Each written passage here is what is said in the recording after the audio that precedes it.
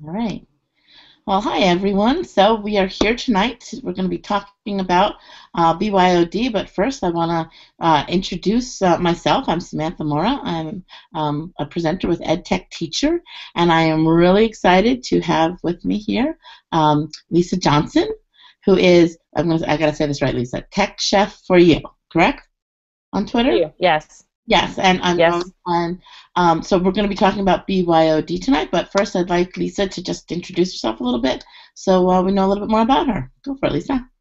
Sure. Um, thank you for the introduction. So, yes, I am Tech Chef for You um, on Twitter, and TechChefForYou.com is kind of where I, I blog and, and put resources. Uh, I am a, I have a varied background. Carl Hooker, a one-to-one that is K through 12. However, it's only my second year with that sort of one-to-one environment, and a lot of my previous, and you know, encounters and and educational technology was based in schools that had kind of smatterings of carts and you know a little bit of BYOT, and a lot of the trainings that I do across the country kind of range of BYOT, BYOD, one-to-one. So I do feel like this topic is very poignant and, and really pertinent for today and, and today's classrooms. Um, and I'm a mom as well, a mom of two, uh, what I call mobile natives. So they're uh, they've they're that next generation of kids that are coming into classrooms that really know nothing other than mobile devices. And so I, I really try to share resources that I feel like will benefit um, them and other people in their shoes that are using these and benefiting our students coming into the classrooms. Awesome, awesome. And if you haven't checked out her stuff, her blog is just amazing. Her Twitter feed is just awesome. So she's a fantastic resource. So I'm going to start with sharing my screen as we get started. And once uh, once we get going, I'll also be in the chat. So if you guys have questions, you can always ask um, uh, any questions that you have in the chat. We also have on our first screen, if you can see it now, um, both her Twitter handle as well as mine. So if you have other questions and you want to continue this conversation after the um, the webinar, you certainly can. And uh, again, we're going to be talking about uh, BYOD and oops, sorry, and uh, which is bring your own device or BYOT, which is bring your own tech. And um, you know, this is one of those issues that whether you have an iPad or a mobile device or a laptop, um, schools may, you know, in certain situations are not able to provide or don't want to provide or feel that it's better if the students provide their own devices. So it's a different kind of atmosphere than everybody being on the same device at the same time. And with that certainly comes some issues. So hopefully we'll be able to address those issues. And again, if you have questions, please ask them in the chat wing um, box below. This webinar will also be saved and archived as well as the slides are below the chat so you can follow along with our slides as well. And uh, with that, I'm going to turn it over to Lisa. Okay, so here we go. Or not. I, I love when that happens. That's always fun. Hold on. Un momento. Let's try that again. Um, well, let's do the Google Hangout then. And it's still doing that. Very interesting. Do you want to pull up yours and I'll go over the slide until. I can, uh, but if you talk, your face is going to come up first. I think you're sharing your Google Hangout window instead of the presentation window, maybe? No, I shared the desktop and it still doesn't want to come up. Hmm. Interesting. All right. Wait. Interesting. Wait, there it is. I see it. Nope, there it goes again. Sorry. Yeah. All right. Do you want here? Let's do this. Let me close out of. Do you want me to close out of that window real quick and see what we can do? Yeah, see if you can open it up one more time. Just hang All on right. with us, guys. And if you're not sure, we're using Google Hangouts, which is an awesome tool for collaborating and um, communicating. And like all technology, it'll keep you on your toes. So. Okay, this may work for here, but I may have to actually bring up other slides. So for now, we might be okay. Great. So, you know, Samantha was kind of mentioning we were talking about device neutral assignments and and kind of just, you know, every campus, every school is looking at different types of devices. and you know whether they're going to provide them whether people are going to bring their own and so you do have a lot of bring your own technology and you have a lot of bring your own devices and something to kind of keep in mind when you're a teacher or an instructor or an administrator is the ability to offer device neutral assignments. And i've got kind of a little what is a device neutral assignment? But essentially it's an assignment that anybody can complete no matter what type of device that they actually have and that's really something to kind of keep in mind when you're building lessons and building curriculum and having students bring their own devices. Um, something else to kind of consider is what apps you're going to use and if they work along, let me see if I can actually do this again.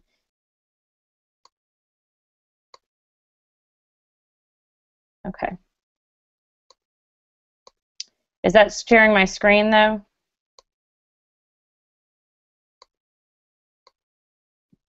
That seems to be sharing your entire Google Hangout screen. Yeah, I just want this. Is it sharing this now? Hmm. It looks yep. like it. Yep. It's got the presentation now? Yep. I can see. Oh, perfect. Okay, that's what we want. Mm-hmm. Okay, so um, I'm going to kind of move on to talking to a little bit about some of the tools. And you want to really, when you're selecting tools, you want to talk about tools that work cross-platform. There are a few people who have kind of started curating these things.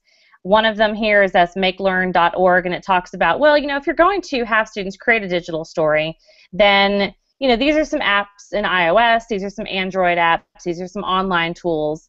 And that does make it a little bit more tricky because you have, you know, this student over here is using iMovie, this kid over here might be using some sort of Android version of it. Um, this kid over here might be using Animoto, and so that does present a little bit of a teacher kind of constraint there. But you know, some teachers are very comfortable with doing that. Honestly, those kids pick up the technology really quite easily.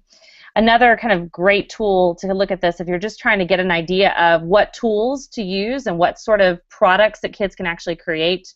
Uh, Tony Vincent has amazing resources. One of them is learninginhand.com. And he's got web resources on the left, and then on the right hand side, he's got mobile resources. So let's say you want to do an audio recording. Well, this would be a really great way to do an audio recording with this particular app. And if you've got a mobile device, then you might use this app to do audio recordings. Recently, he put out um, a PDF that was called iPad apps that are also on Android. And so this was really helpful because when you have kids that both have iOS and then you have other students who have brought Android, you know that these are cross-platform. Essentially, they're available via iOS, they're available via Android. And he has further ones listed, but since we're focusing today on kind of creativity and collaboration, I wanted to make sure that those were the ones that you were getting to see. One of my favorite sites and uh, one of my favorite people is Wes Fryer, and he's got a great site called What Do You Want to Create Today? So if this is like, I really want kids to do a puppet show, or I really want kids to do a radio show, or if I really want kids to do some sort of ebook, this is a great place to visit. I'm going to pop into another screen so you can kind of see. If you click on one of the squares in that little tic-tac-toe, you're able to see, um, it, it kind of breaks it down. So it gives you ideas for workflow, and then what I really like is he gives you the ideas for tools. If you're using a laptop, these are tools that you can use. If you're on iOS, these are tools. If you're on Android, if you're on Windows, and so on and so on and so forth.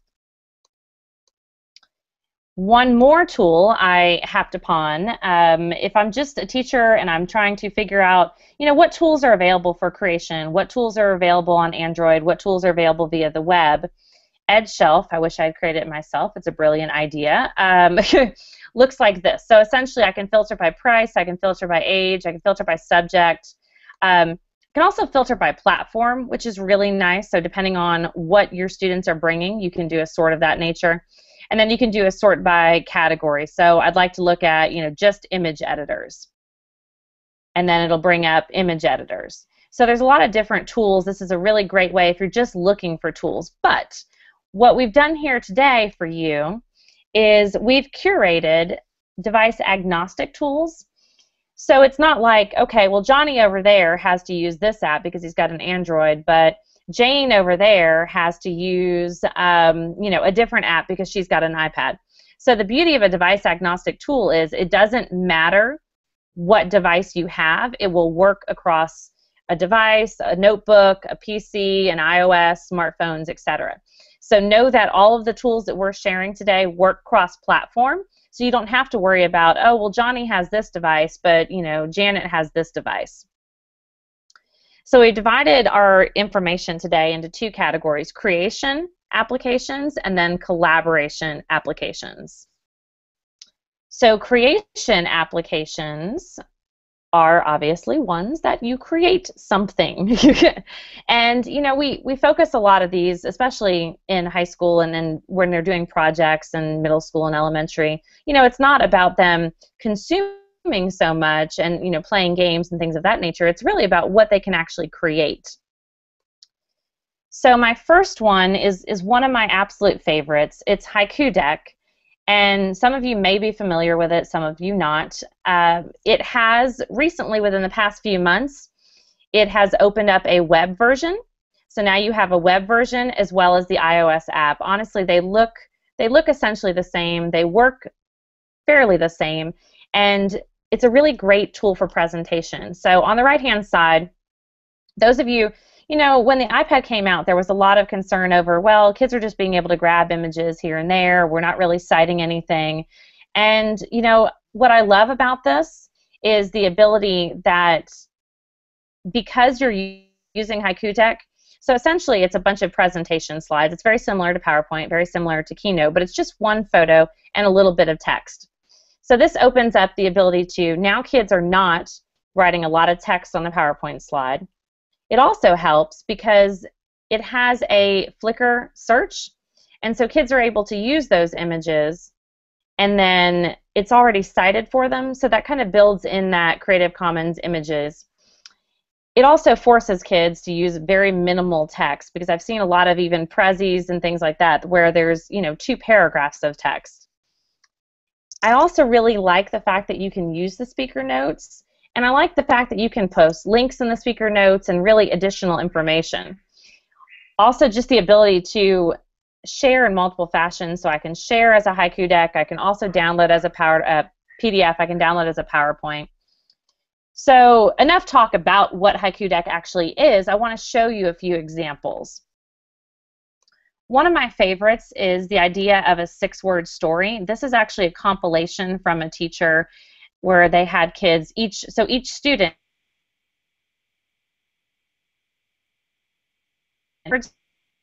stories using Flickr. Here they're actually uh, cited, which really teaches them, you know, how to do this, where they are, because a lot of times kids don't know how to cite it. They don't know how to use appropriate images. And you can tell that they're really poignant when you see this. It's one photo and a little bit of text, and I think that speaks volumes about what you're able to do. So this would be something like a six-word story that they could actually put together.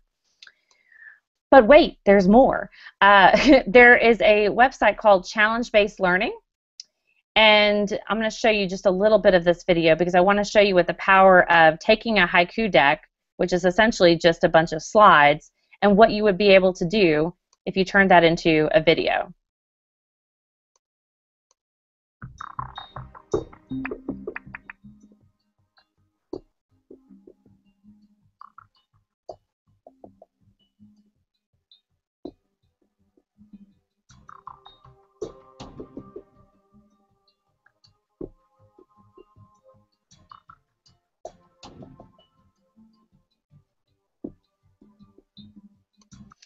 You can see here they've actually asked questions, and these are really to kind of hook students. It's a great, excellent, excellent tool. So this is student use, you can see here, and they've actually got a ton of information, example, guiding questions, all matter of different things that you can do with Haiku Deck. So don't think that you can't app smash. You can do all kinds of things with a Haiku Deck. And it's really an interesting thing. Haiku Deck, if you actually follow their blog, has a lot of great just ideas and inspiration. One of them I really enjoyed was they took the Lincoln's Gettysburg Address and they turned it into a haiku deck. So you can see right here, they've taken the text and really broken it up because that's a long speech and it's got a lot of meat to it. So this is a nice way to kind of chunk it and make it a little bit more accessible to our students. What I've started doing is I've started taking haiku decks and actually using them as professional development. So this is what a published haiku deck will look like. You've got your slides here, and I can go through, um, you know, different slides. This is actually a haiku deck about Nearpod, and it's just best practices. Uh, over here, you've got speaker notes. So what I do is I write a lot of different information. I also include links and other information here. So like, for example, um, let me pull up one. Right here you have some more examples that they can go find. So it's not just a static presentation. It leaves people with the ability in the speaker notes where you can actually add links. This could actually be a link to a Google Doc or a Padlet board to get more information about the Padlet or about your haiku deck. Right here you've got um, thing links that are asked. You've got um, more information about SAMR and allowing students to drive assessment. So I really do feel like using it to its fullest makes it an excellent tool. And because it works cross platform, there's nothing really you can't do with it. It's not just static photos and slides because you can add the links and you can add the text.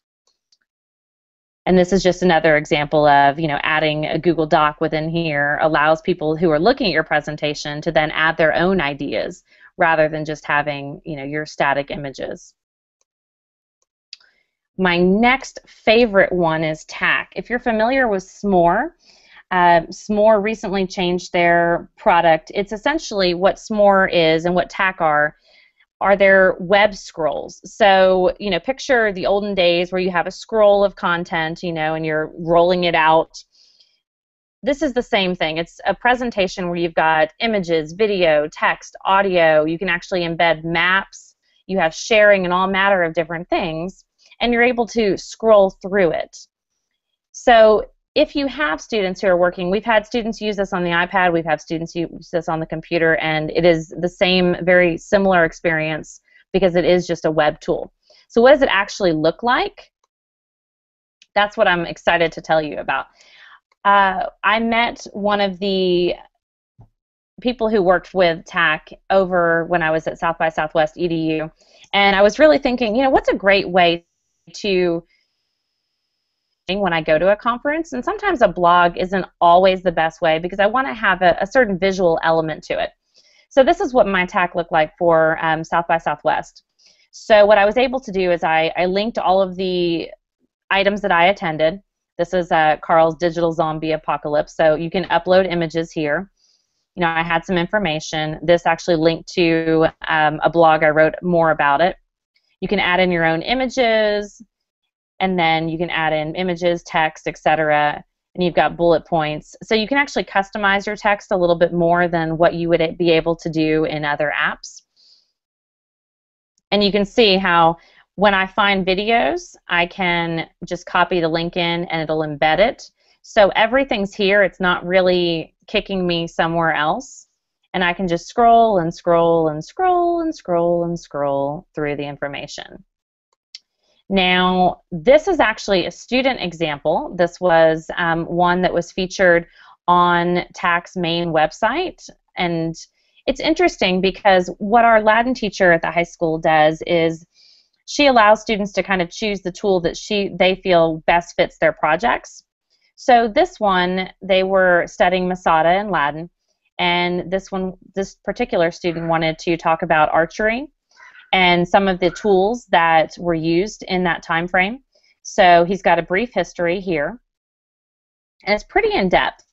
And then he's brought in a YouTube video. And then he's also got some information. Now, when you bring in photos and you bring in more than one photo, it actually creates kind of a, a slideshow effect. And you can keep scrolling, scrolling, scrolling. This is a video that he himself created. And what's interesting about these, the only downside is because Tackk is a way to, you know, you can put in videos and all these sorts of things, but they have to be hosted somewhere else. So if a student was to create like an iMovie or um, a trailer or an explain everything or anything like that, they would have to upload it to YouTube or Vimeo first before they were able to embed it nicely and then they've got more and more information. These are his own photos that he brought in about how he actually made a bow and arrow after researching it, and even more information about it here. So you can see what this would look, look like as an actual student project. based on kind of some of the information I've given you in this webinar, I've also created a Tackk, same sort of thing. Uh, you can see some of the resources I've already shared with you, and this is another nice way. It's a nice takeaway um, for people who don't always want to go through everything. They just want to get some quick links. Um, and you can kind of see that I have links, bullet points, etc. So that's another version of Tackk. But Tackk could be anything you want. They've got all matter of different colors of, you know, fonts and colors and things of that nature. So we have a question in the chat. They want to know why yeah, sure. is Tackk better than SMORE? Well, um, hopefully you don't work for SMORE because I love I love both Tackk and SMORE. Um, they're not they're not better than one another. Um, Tackk you can actually create Tackks without creating an account. Um, they're auto saved that URL for a year. So that is nice for students. You don't want to deal with accounts now. The one I showed you was a high school student, so you know accounts are really easy in that regard, and you know they also want to take them with them and you know have an e-portfolio the reason SMORE has changed their um, educational package to limit you to five free s'mores. And I don't mean like, you know, graham crackers and chocolate, although that sounds enticing right now, um, and marshmallows. Um, they, they limited you to only creating five. So for a student, that might be fine. For a teacher, I mean, I, I create a lot of resources, and so to be limited to only creating five and then having to use another tool or um, purchasing their educational pricing, it, I, I, just kind of made the swap over to um, to use Tackk. So there's nothing against more, and I, I like both of them, and they essentially do very similar things. I just I I think that Tackk offers the ability to do unlimited um, Tackks at, the, at least at this point in time. That's a good question. Yeah, that, that's really good to know. That's really good. So uh, my next one is an oldie but goodie, and you might wonder why I have put this in here, because Big Huge Labs has been around for a very long time. Well, the reason I put this in here was up until recently, I did not realize that it worked on the iPad.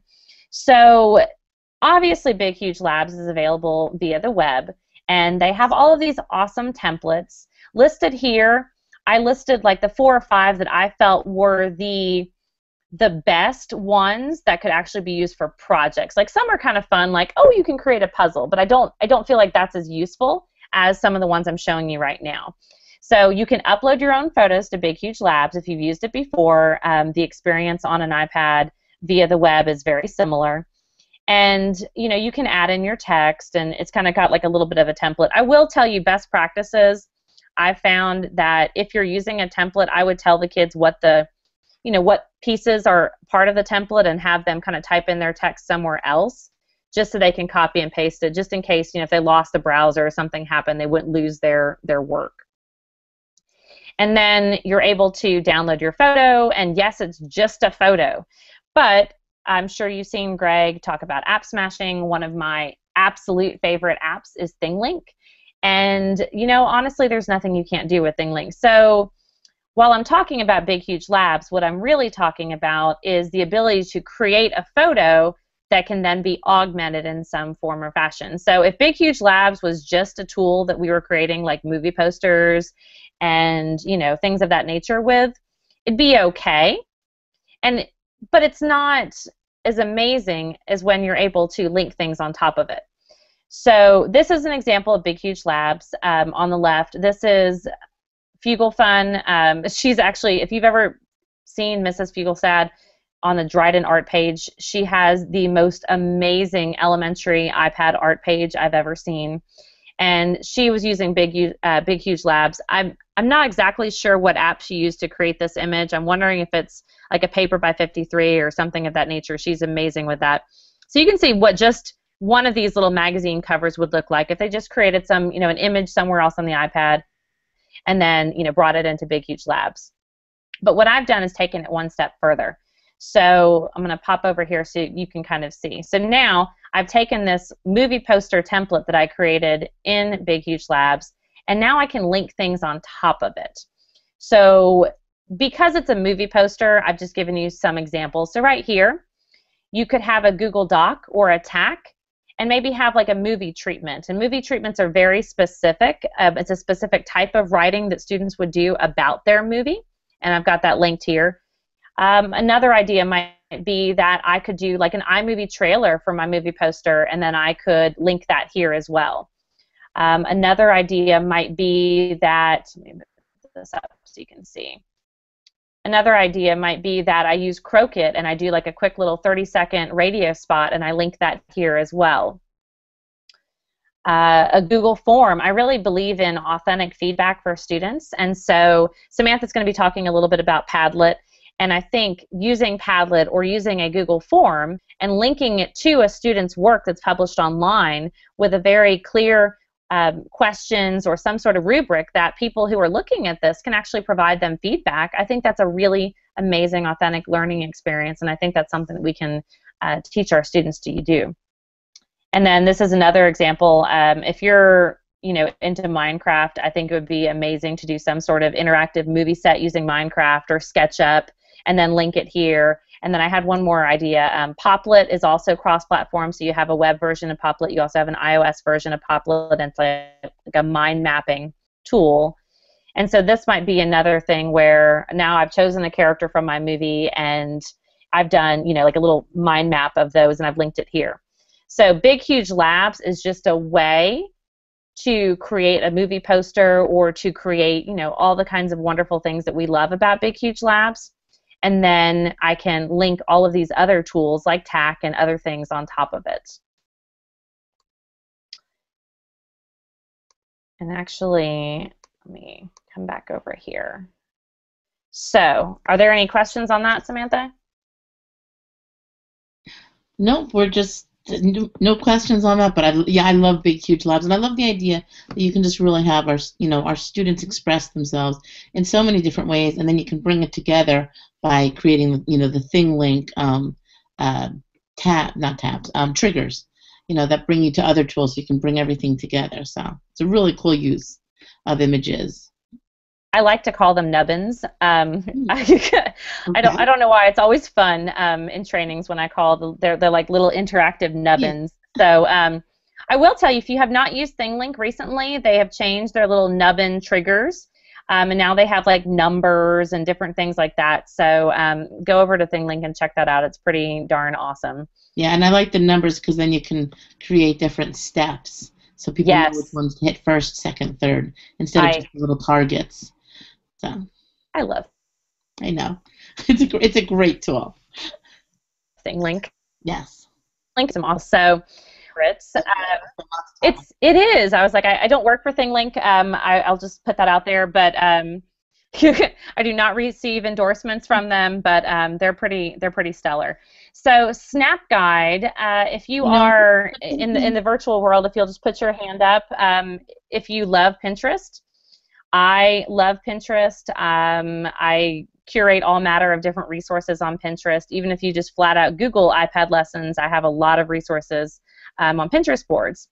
And what SnapGuide does is it's kind of the extension of Pinterest. So many times when you use Pinterest, you'll click on like an image and it may just be an image or it may be a blog with very little information about how image. So it's like these awesome things I'd like to do, but I have absolutely no idea how to do them. So SnapGuide kind of fills a need. What SnapGuide allows you to do is you essentially create step by step tutorials. And each step of the tutorial could either be a photo, a text, or a video. Now, why I'm sharing this tool is recently they opened up a web version just like HaikuDex did. So they started out as an iOS app, and it is amazing. And I will tell you right now, if, if you stop and do something, you will get sucked into it and um, you'll start doing all kinds of wonderful things with it. But they've also opened up a web version, and so it's it's the beauty of you can use it and do anything you want with it. It could be very easily used for procedural writing because you can share a snap guide with a URL. You could then add it to a thing link or add it to a Tackk. So all of these tools, because they're device agnostic, play very nicely with each other and you could do a lot of different cool app smashing. So what does it actually look like? That is the million dollar question. Um, I'm going to show you a few. So I really love the idea of not everything being digital. So this is how to make an osmosis foldable, uh, foldable. I love foldables. I think they're still fun. But you know, I find in the classroom sometimes kids don't always pay attention, or sometimes you do centers and things like that. And so it's really valuable to have a digital resource to support that, so teacher doesn't have to want, want, want over and over and over again. So what a guide looks like when it's published is um, sometimes they will have supplies. So you can see here, you decide what supplies they will have. Sometimes these supplies could be like fun, like you need creativity or you need, you know, apps or whatever the case may be. You can embed these on blogs and then you can start the guide. So when you start it, it plays kind of like a magazine. You have step one of seven here.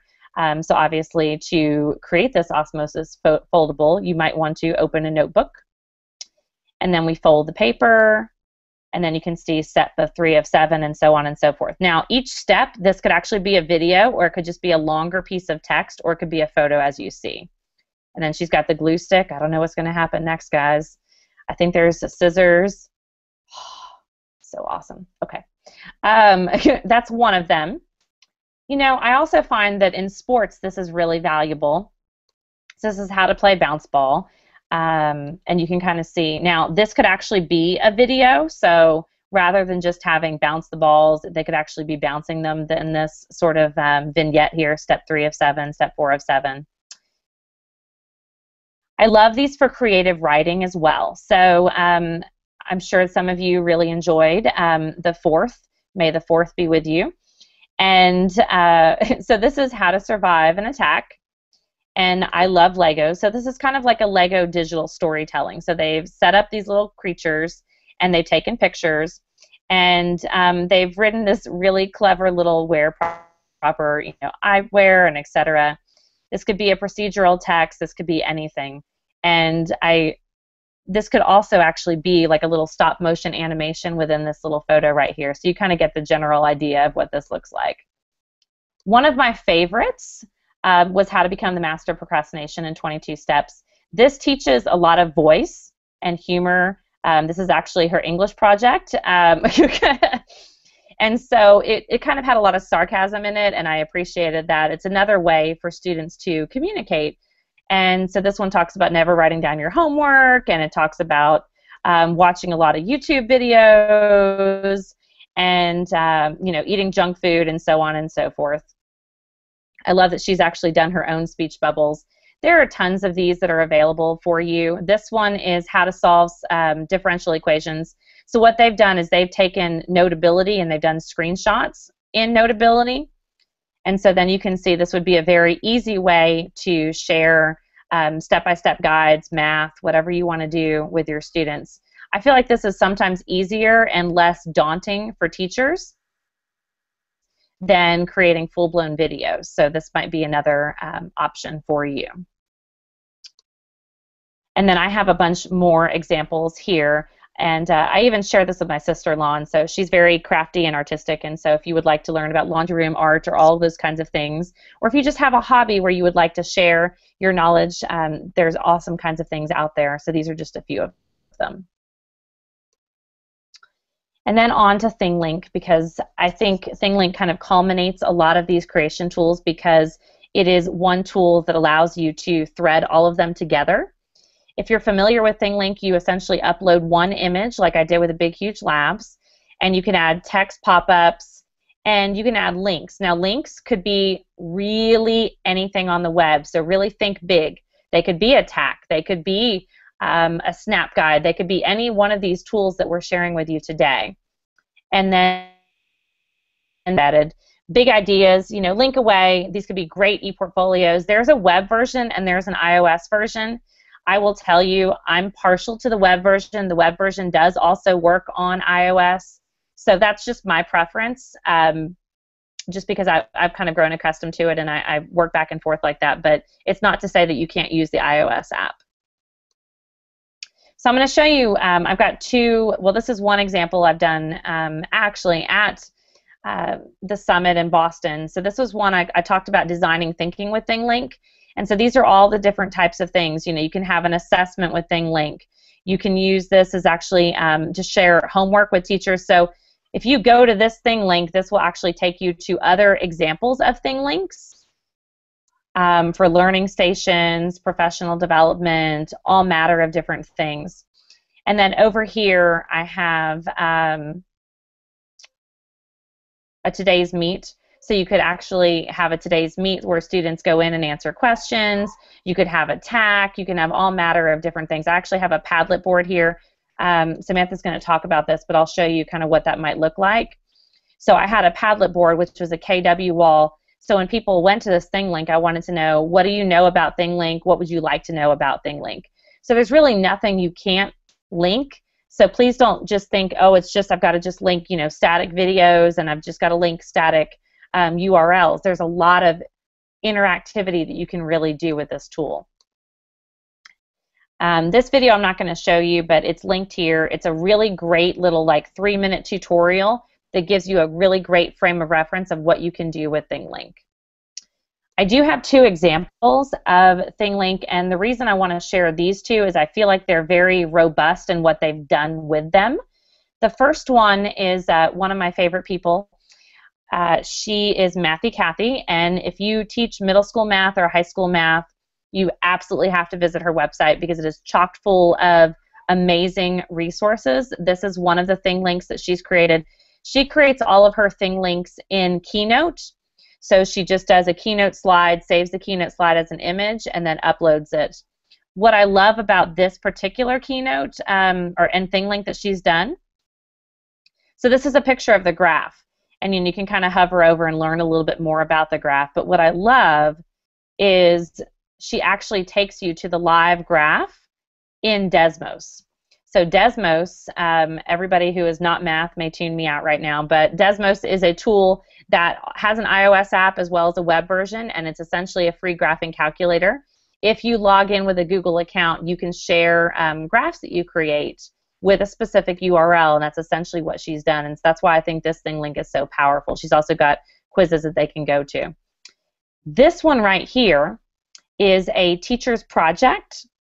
And so what this teacher has done, rather than creating, you know, all of these documents that kids never read, um, especially if they're handed out in a packet, she said, this is step one, this is your topic, this is step two, this is your research, this is step three, this is your um, presentation. And she's got the rubric here, and all of these are um, Google Docs.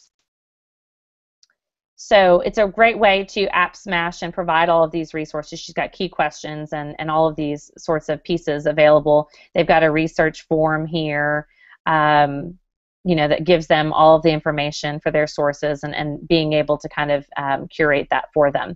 So it's a one-stop shop. This is probably my very favorite teacher-created ThingLink because it really shows what you're able to do with it. And now we are going to move to collaboration, and I'm going to hand it over uh, to Samantha to uh, share some of those resources with you. All right, sorry about that. I was chatting. I was in the chat chatting. Okay, so well, do we have any questions? Do you want me to answer anything? No, we were just saying how super cool ThingLink is and how much we absolutely love it, and um, that Desmos is really cool. And I already bookmarked Mathy Cathy's blog on my own uh, account because, oh my gosh, it's always great to find really good uh, math resources. And um, I just think, you know, ThingLink is just amazing for bringing together um, um, ideas that you want to express and get out there to your students, and then have your students also create them. So I just it's just a fantastic tool. I love tools like that. Um, just amazing. We kind of we call them evergreen tools or evergreen apps because you can use them across the curriculum, across grade levels. I could see kindergartners, you know, accessing it just as well as high school, you know, honors history classes. Yep. Um, depending on how you set it up. And I think what's also great about ThingLink is, you know, we don't always think linearly. So it's wonderful to see something that um, puts together all these tools and functions. So yes, so now we are on. So yes, so now we are on. Oh, we're getting some echo. We're getting some echo. Hmm, I wonder why. I wonder why. Do you want me to turn off my mic for a second? Um, Let me do that. Um, let's see. Yep, I think it's gone. Okay, so there's a little echo there. Um, Okay, so we're talking about collaboration now, and we are going to uh, talk a little bit about really one of my favorite favorite tools, which is Padlet. And I know Lisa has already mentioned it. Um, Padlet is just fantastic because again, it is device agnostic. You can be on a on a laptop, desktop, a Mac, a PC, a Droid device, anything that accesses the internet, and it allows people to come together. And it also allows people to come together where they don't necessarily sign in, although they can, um, which you know sometimes it those are things that block us from getting stuff done in education because do we need an account for the students? How do we sign in? Is there a cost? And Padlet answers a lot of those questions. So I just love this wall that was created at one of my workshops. We were just talking about great videos for learning. We were just gathering them and trying to share as many as we could in like 10 minutes. And each person was able to um, put up a video and notice how it actually shows within the Padlet. It's a wall that you post things onto. Whether and the thing could be, I'm going to go to the next slide. The thing could be a link, which is can also be a YouTube link, um, or a document. So you can put documents up there, and you can even use the camera camera always scares me because you know it's always one of those ugh what's going to happen? kind of moment. But you know you try to prep and work with your students ahead of time to um, to make sure you know that they put appropriate things up. But going back to that one slide before you can't quite see it in here but not only did they put videos they actually also put in websites. And when you put in the link in the upper right hand corner it's um, physics simulations. Um, you can if you put in a link that has a visual that's easily translatable, it will show up as well. So it's a really visual tool that allows you to collaborate and bring um, a lot of different um, elements together. And again, not having to worry about signing on and all that is great. So I absolutely love this. This um, this next slide. This was created by Suzy Brooks in Massachusetts, and again, her blog is just tremendous. This is from um, her entry on Padleting Together. I love that title, and it's a bingo card and she put up all sorts of great ideas of how you can use Padlet because as I always say, it's never about the tool, it's about what you want to do. Then go out and find the tools that help you get that done. So just in different ways, I just pulled out some of the squares from her um, from her uh, beautiful bingo card. So just like using it as a homework alternative to collect responses. Many times I've had students use Padlet where they can either put in text responses, video responses, any type of response, and it's a great way to collect homework and also share it because this is the collaboration piece with each other as well. So it's just fantastic. Uh, we even did a trick when they were sharing homework. Once they had to answer questions, but they didn't want other people to see their answers until they came into class. So we turned moderation on because you can actually moderate the comments. So everybody did their homework, you know, the night uh, at home, at night at home, and then when they came in in the morning, right at the start of class, we hit uh, post, you know, we hit, um, you know, the moderation button, and we posted all their responses, so then we could see it all at once. And it was great because that way they didn't feel that their responses were changed by anybody else's. You can also post videos and have kids respond and make predictions. Oh, one thing people forget is, I'm just going to go back to this slide real quick. This one is set up so that it's wherever you put stuff and you can move it around. You can also use Pad, Padlet. There's a, just a button off to the side. You can change it so it posts stuff, content, in the order in which it is put up. So it could also become kind of like a, a Twitter wall or a um, TodaysMeet kind of wall. So everything is sequential. So that's kind of interesting too that you have that ability. So I absolutely love Padlet. I'm just going to peek at the chat real quick. Um, I see Emily asked, um, is Padlet an app or web-based? It is web-based, but works beautifully on the iPad and Droid devices through a web browser. I like to open up Padlet in Safari on my iPad, and then I do make a home button out of it. So it looks like it's an app on my iPad, but it is actually a website that I just created a home button for. So yeah, it is just an amazing tool. That's a great question, Emily. Thank you. Um, oh yes, and Padlets can be embedded in anything. Google Sites and all sorts of wonderful places, and Tackk as we just saw. So that's just fantastic. So, and if you have any more questions about Padlet or any of these, well, we should have a few minutes at the end. We we uh, we can definitely talk about it some more.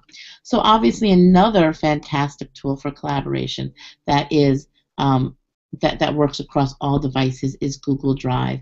And honestly, we could spend an entire hour just talking about Google Drive and Docs and Sheets and all that yummy stuff. So I just wanted to make sure that we mentioned it, but I also wanted to tell you if you haven't checked it out in the past five days, six days, sorry, um, May 1st or April 30th, they came out with new apps for both Droid and iPad. So that if you're using Google Drive, it now will when you click on a document, it will open up a separate app called Docs. That's free. And or if it's a, a spreadsheet, it will open up Sheets. So it's actually splitting out the different parts. And thank goodness Slides is coming soon. So the wonderful ways in which you can collaborate on um, presentation mode in Google Drive, you'll now be able to do with slides. So I have a feeling that they're actually going to be doing, um, they're going to add more features to all of these uh, apps now. But again, it's a fantastic tool because if you're a Google Apps for Education school, you'll notice how things um, just can go into Google Drive to share in a variety of ways and then come out of Google Drive. And I did write an article just May 1st because it just came out on introducing the new Google Drive apps. It takes about two minutes to read, and the best part is I put all the links in there so you can get to them easily. So Google Drive really is just a fantastic tool for collaboration. And um, you know, as I said, many schools who are Google Apps for Education also um, are looking at iPads and then Chromebooks coming in or Droid devices. So it really does help that you can use these really strong tools um, across all of your devices. Uh, let's see what else we have here. So we have something called Blendspace. Really, just another great visual way of curating and distributing content because we know that um, you know we it helps if we can help our students think about our content in a variety of ways. And if we can distribute information to them in a variety of ways, we have them over a long period of time, it keeps the information fresh. So their eyes can be working with maybe a Snapguide and then maybe with something else and then a Padlet, and perhaps you'll check out something like Space. So it's just another fantastic tool, and you can see all of the elements that you can put into it. Um, you can also see that you can insert content from anywhere, all these wonderful tools like Prezi's and, and um, Khan Academy, even and Educreations and Wikipedia. So all of these fantastic tools can be brought in here. And um, again, it's just a fantastic tool. And it's one of those things when you're looking at any of these tools, you want to, you know, kind of make this some decisions. How can we use this well and quickly. I mean, I don't know about you. I want a tool that I can say, oh, I can use that Monday. So you can look at all of these different tools and see different features that you like or don't like or can use or can't use. Another feature that this one has that I think is really wonderful is that because they sign in, you can track engagement and assessment. And it becomes another way for you to um, find out information on your students and have your students um, you know, uh, access your information and show what they know. So just another fantastic tool out there. And I think we are actually up to Trello, which is. I'm going to hand it back to Lisa. I'm going to hand it back to Lisa. Okay. Um, sounds good. I am. Um, you can see my screen, right? Yes.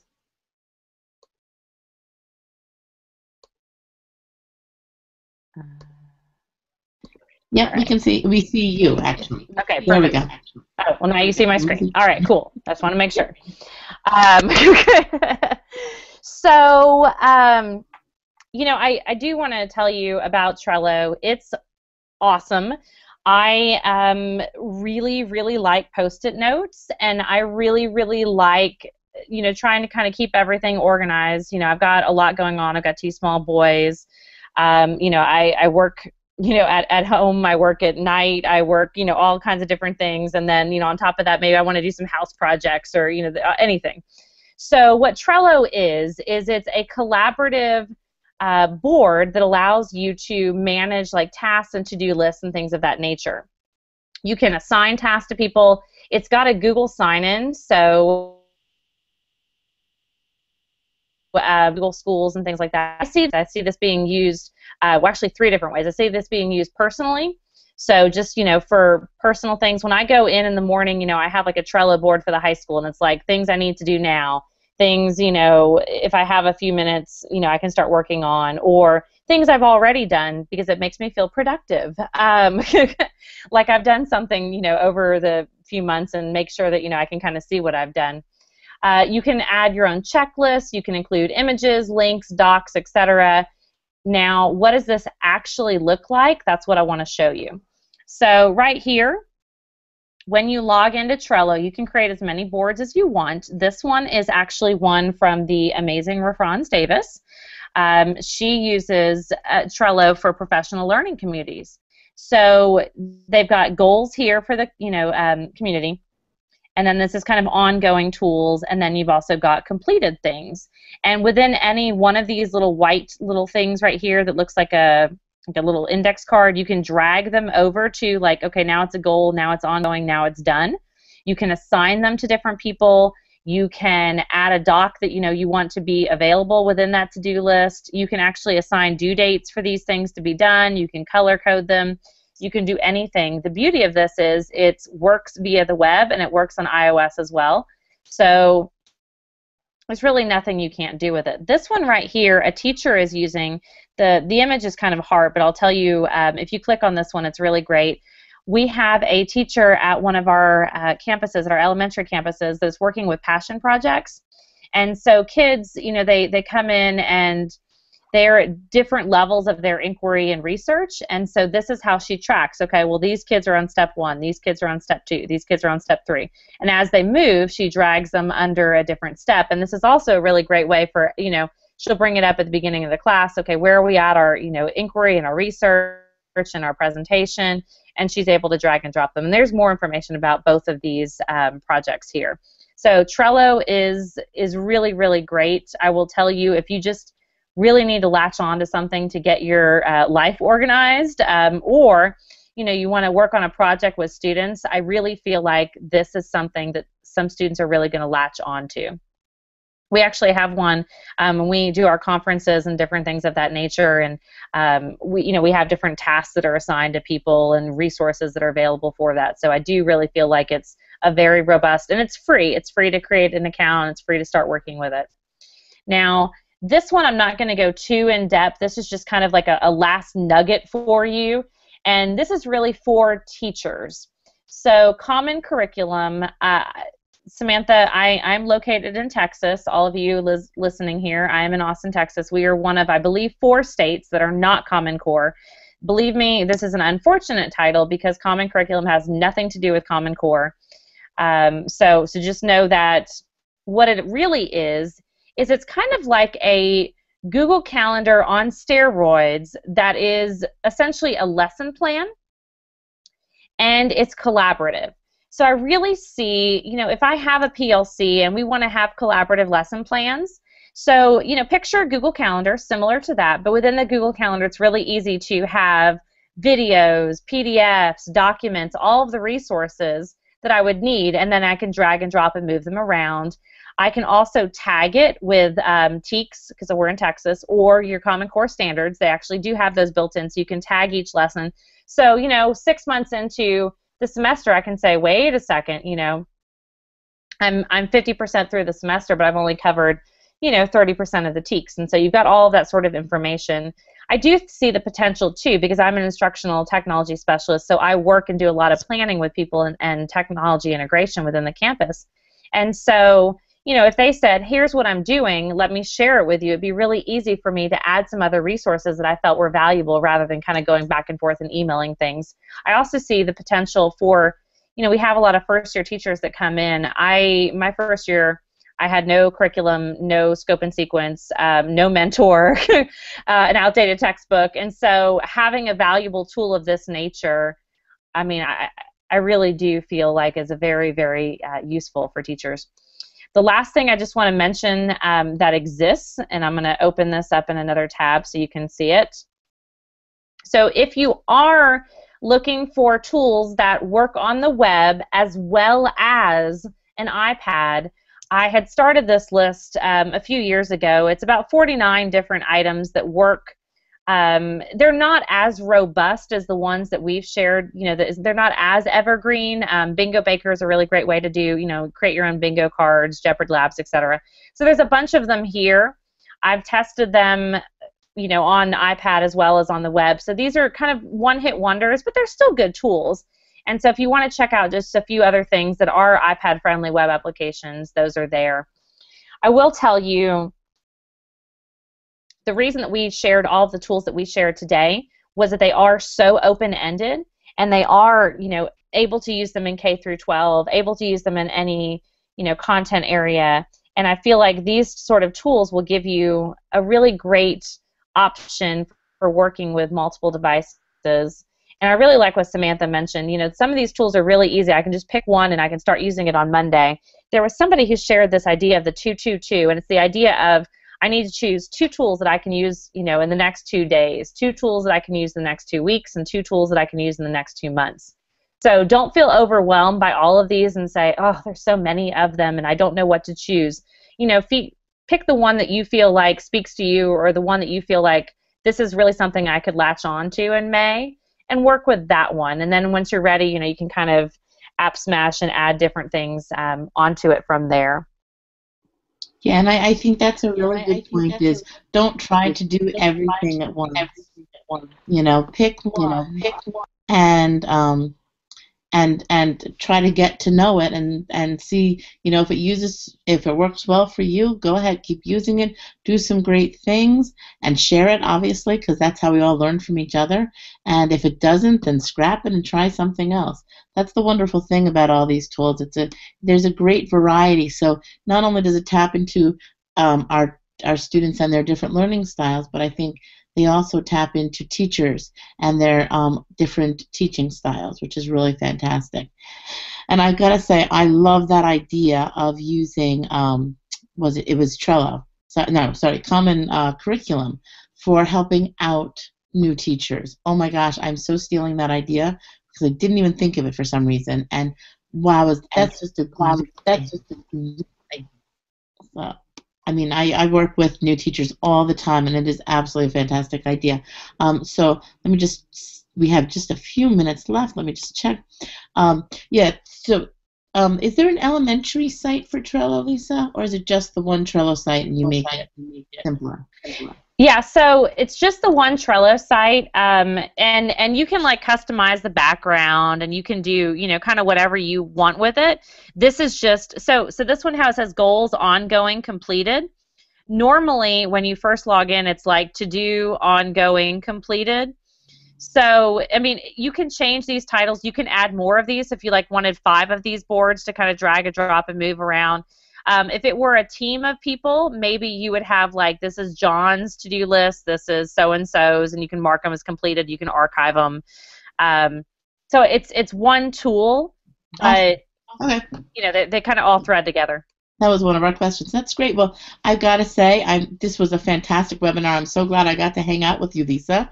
Um, we have we have two more coming up. May 15th, we're going to be talking about Google Glass in the classroom with Courtney Pepe, who's been using them. It's absolutely fantastic. Uh, it will just I think it'll just it'll blow my mind. So it's so awesome, just a great tool. And then May 19th for Scratch Day, we are going to be getting creative with Scratch, which is a program from MIT that can be used at you know most grade levels, um, and it teaches coding and creative thinking, and it's just a fantastic tool. And of course, we do just want to mention um, our hands-on workshops this summer. You could uh, work with um, Lisa in I think you're Lisa, you're in both Austin and Chicago, or um, I know you're in a few of our workshops as well as I am, and I'm lucky enough, that I will get to uh, definitely see her at our EdTech, our EdTech, where we're going to have a BYOD strand as well as several other strands that talk about, you know, the future of learning and where education is going, and all of these fantastic ideas. And it's just going to be a just a wonderful, wonderful opportunity to learn and grow as educators. So I'm sorry, Lisa, which one are you going to, I know you're in Austin, which is going to be fantastic. Where else are you um? Yeah, so I'm going to be at, um, I'm going to be at both the Austin one as well as the uh, Chicago one. I, I can't off the top of my head remember what I'm presenting right. at the Chicago one, um, but the Austin one is a three-day iPad workshop. I believe it's the 4th, the 5th, and the 6th. Well, that is just fantastic. I cannot wait to get a chance to work with you. So that'll be just wonderful. Um, I don't see any more questions in the chat box, and box at eight o'clock on the dot. On the dot. So Lisa, I just, Lisa, I just again, again, fantastic. Um, and everybody, thank you for joining us, and hopefully we will get to see you this summer. And have a great evening.